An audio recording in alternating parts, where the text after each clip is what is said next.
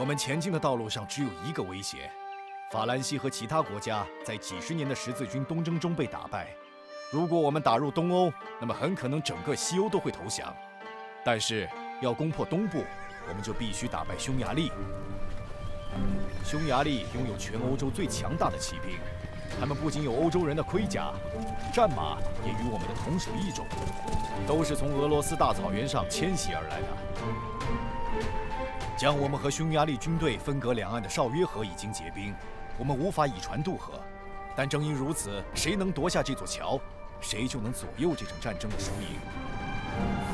速不台带来了援军，如果我们能从匈牙利骑士的冲锋下幸存，撑到速不台到达，那我们就有希望拿下这座桥。这座简陋的桥意义非凡，如果我们能攻下绍约渡口，我们就能攻下匈牙利。如果匈牙利倒下了，欧洲也会跟着倒下。一旦欧洲和亚洲落入了蒙古之手，我们就征服了整个世界。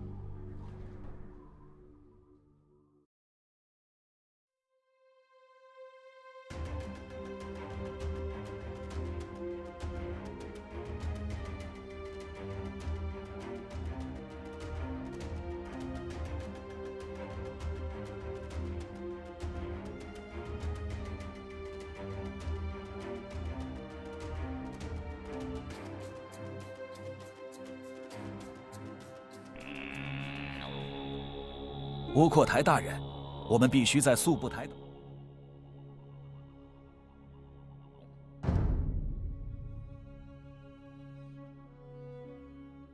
拿钱抵御住匈牙利人的攻势。他还有四十分钟到。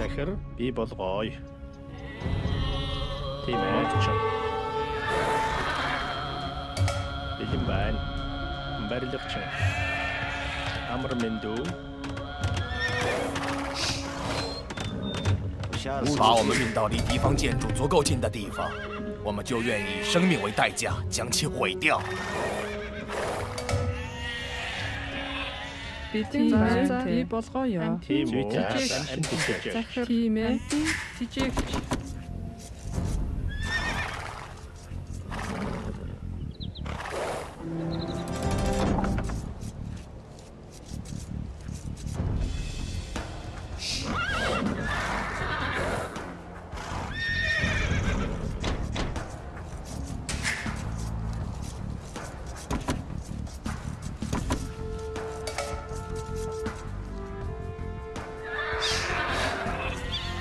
عمرني ندوب برد برد جنجن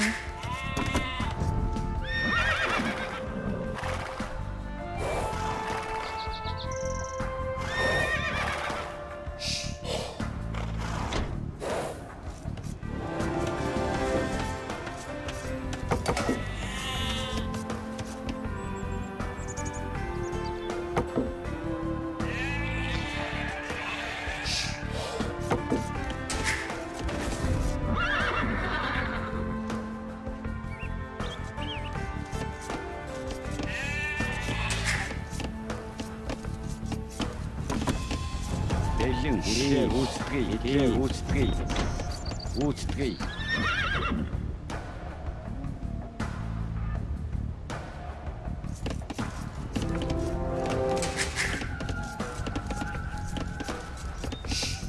Keep up, boy.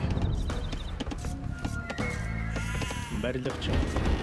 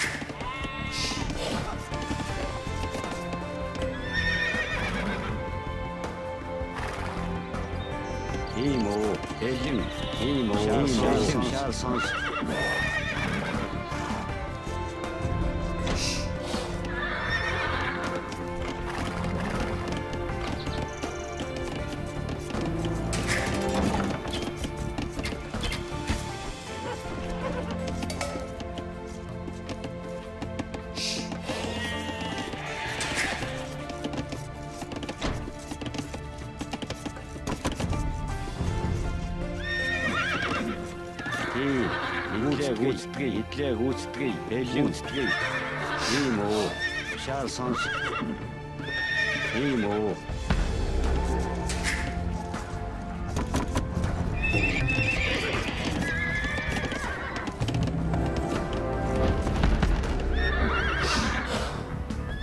Бэлэн шаал сонс. Тийм үү? Барилгачин. Бэлэн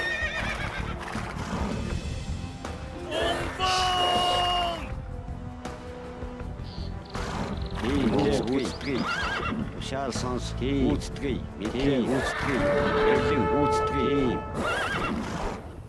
Ийм. Үү. Гүйцэтгэе. Сонс. Гүйцэтгэе. Гүйцэтгэе. Бэлэн мэдлээ гүйцэтгэе. Ийм. Ийм. Мэдлээ гүйцэтгэе.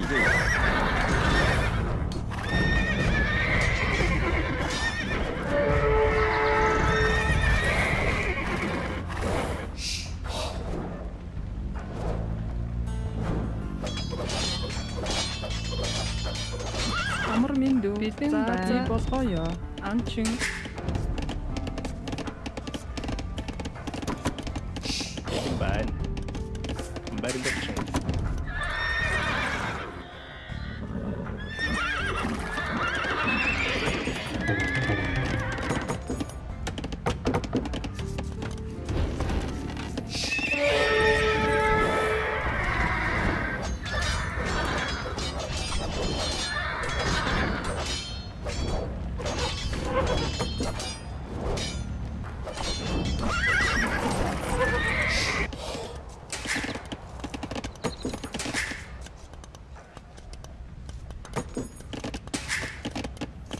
Тийм үү?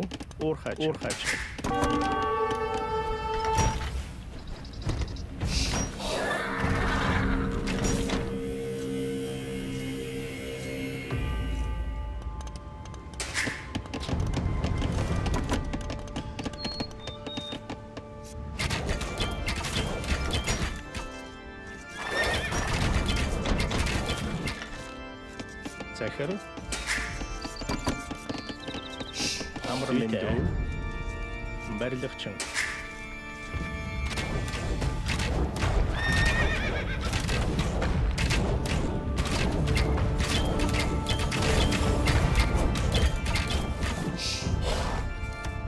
速舞台还有三十分钟到。 За за. Барилгачин. Амар мэндүү. Барилгачин. Тийм үү? Тийм ээ. Барилгачин. Барилга барилгачин бэлэн байна. Зүйтэй. Би болгоо. Анчин.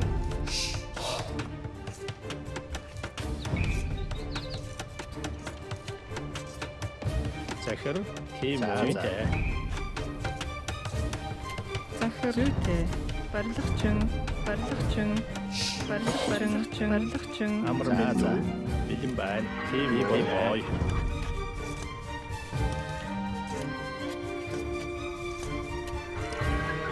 Барилгачин. Тийм үү? Захир. Барилгачин. Амар мэндүү. Бэлэн байна. За за. Барилгачин.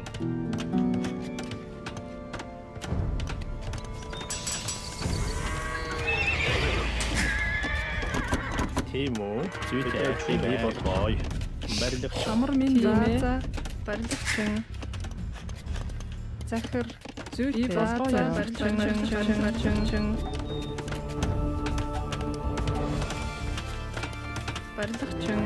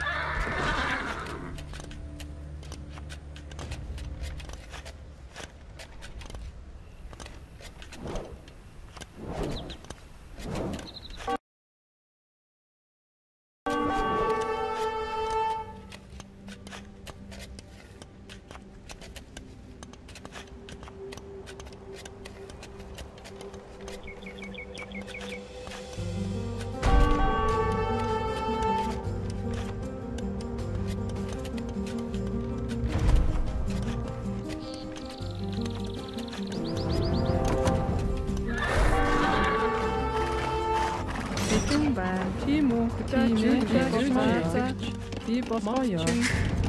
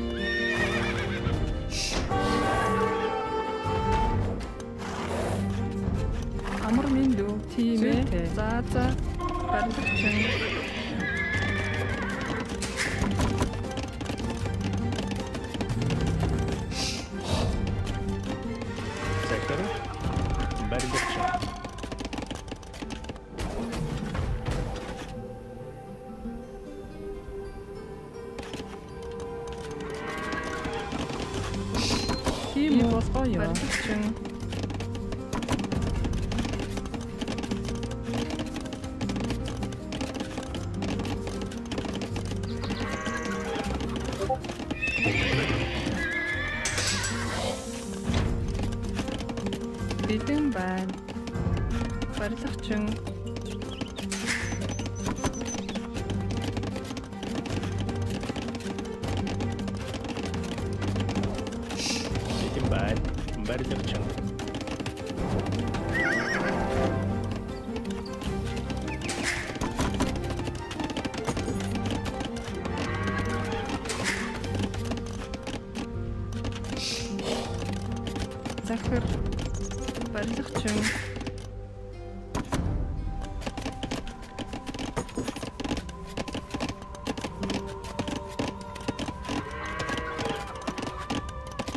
速步台还有二十分钟到。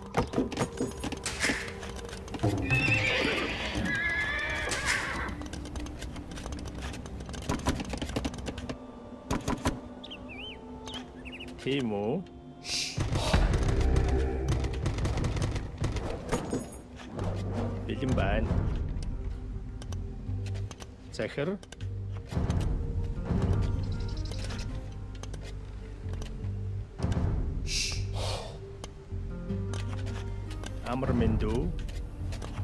Барилгачин. Бэлэн байна.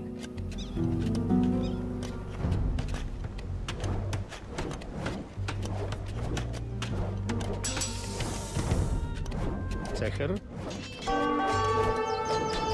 Амар мэндүү.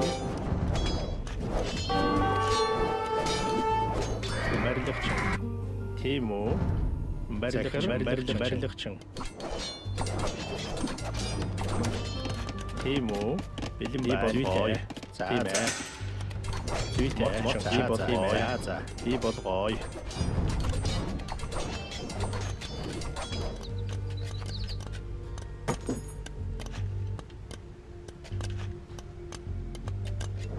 Зүйтэй. Барилга барилгачин амар мэндүү барилга барилгачин.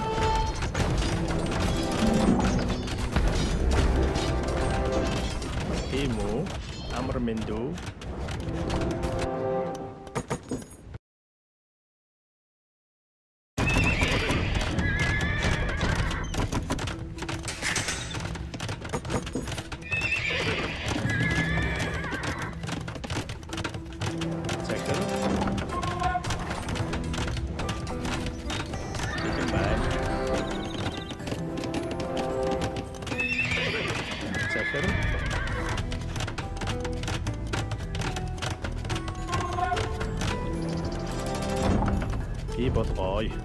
Барилгачин.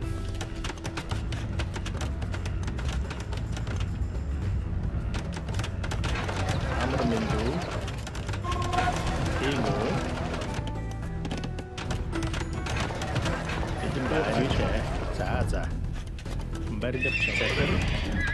Барилгачин. Барилгачин. Бидэн байна.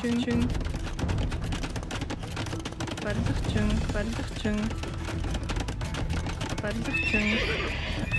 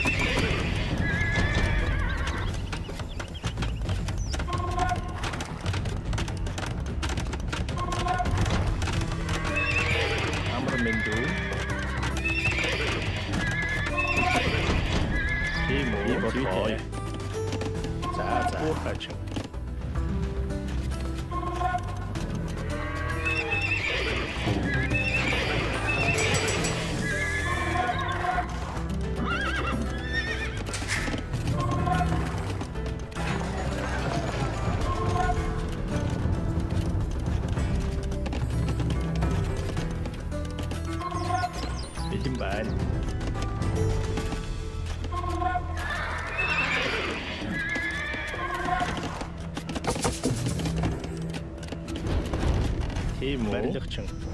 Захир.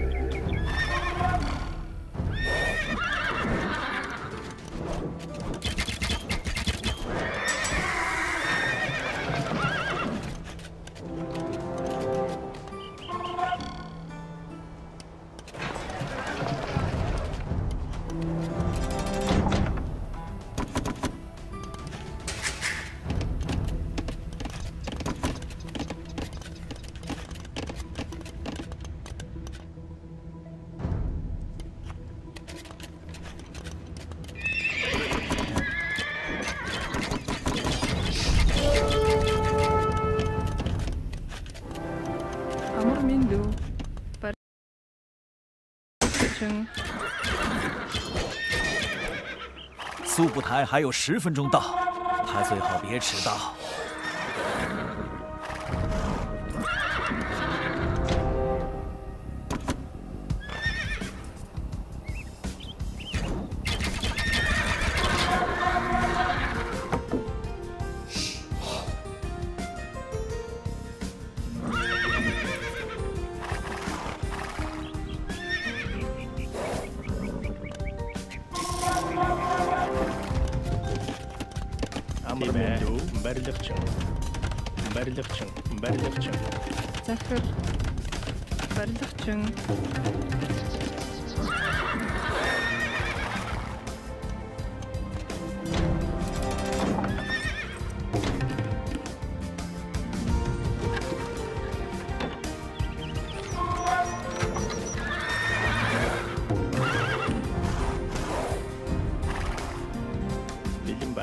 Тийм үү гоё.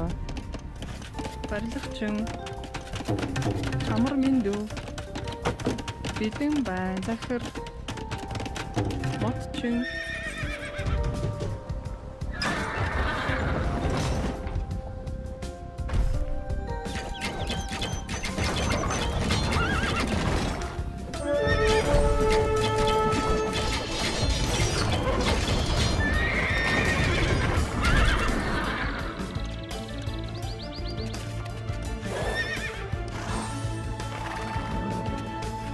Timo. Timo. Timo. Timo.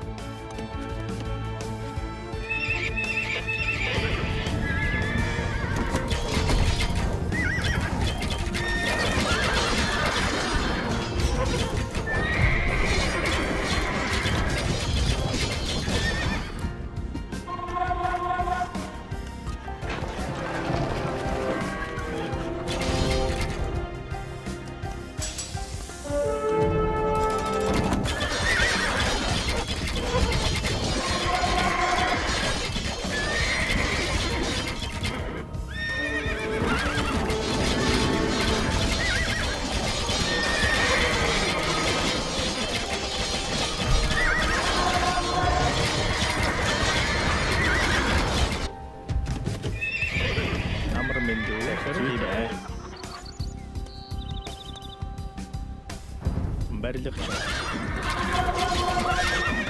Бэлэн бай болгоё. Үгүй ээ, болгоё.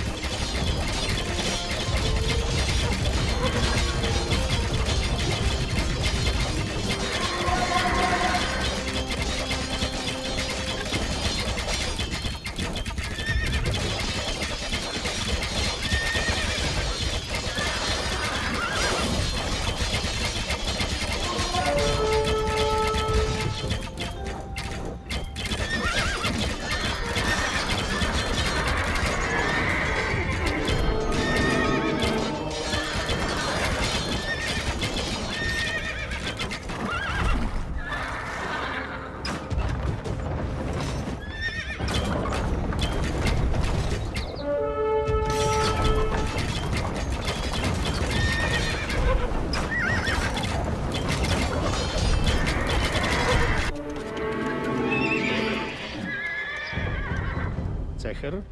Amor mi Juče. Ivo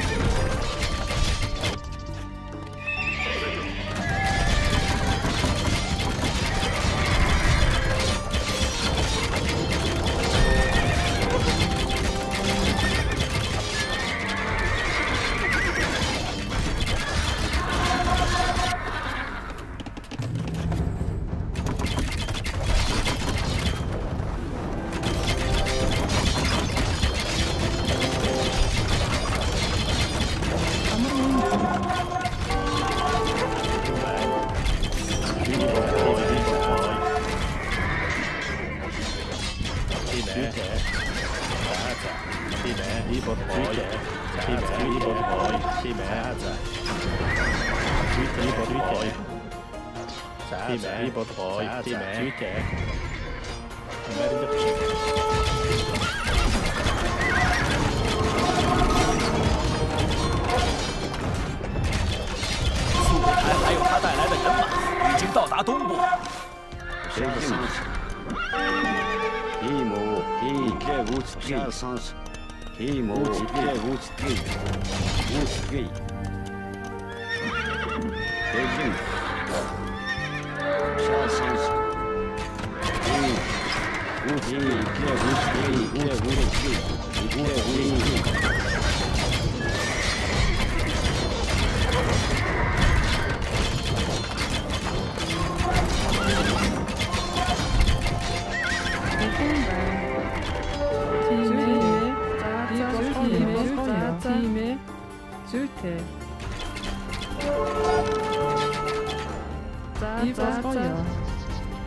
2층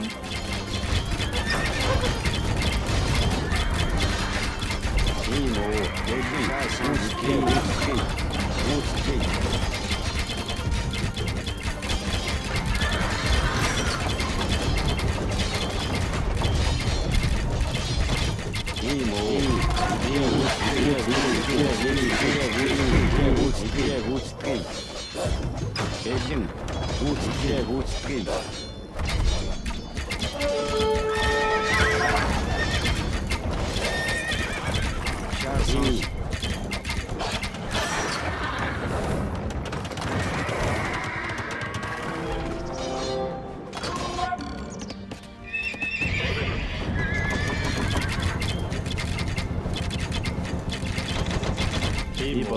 一波，一波。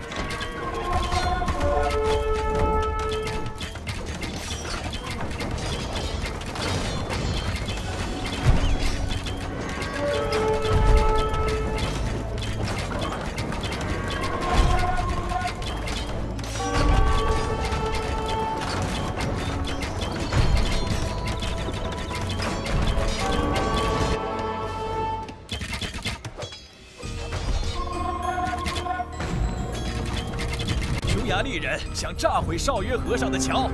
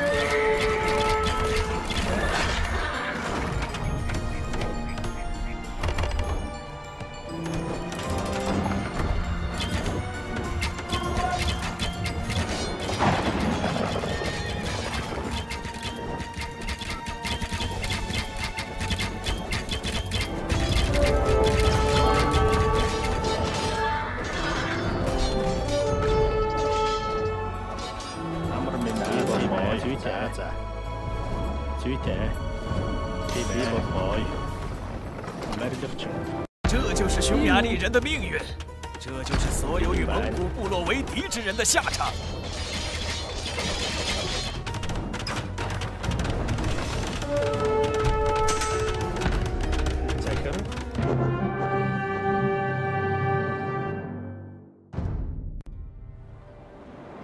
没有人能阻止我们横渡大西洋。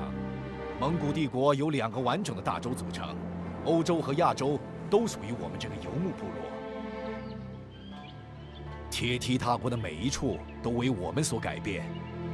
曾经争吵不休的俄罗斯城邦，就像当时古老的蒙古部落一样，将永远合并成一个巨大的帝国。成吉思汗建立了一个人一生中所能成就的最大伟业。他的尸体被运回沃南河，传说中的蓝狼和休养的母鹿曾居住在那里。为了掩盖痕迹，一千兵马在他的墓地上奔跑而过。茫茫大草原吞没了大汉最后的安息之处。人民一直抱着希望，终有一日，他们伟大的统治者会回来，带领他的骑兵再一次取得胜利。